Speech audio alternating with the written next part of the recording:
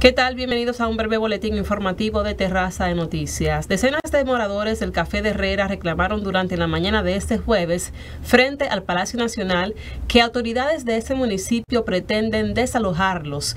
Explican que son una comunidad con más de 300 familias que residen allí. Altagracia Suero, una de las manifestantes, aseguró que el alcalde José Andújar de dicha demarcación solo ofrece a los habitantes el pago de seis meses de alquiler para que vivan en otros lugares, sin una ubicación fija de aquellos que sí tienen sus casas propias libres de pagos de alquiler. Amplíe estas y otras informaciones en la emisión nocturna a las 10. Brita Félix les informó.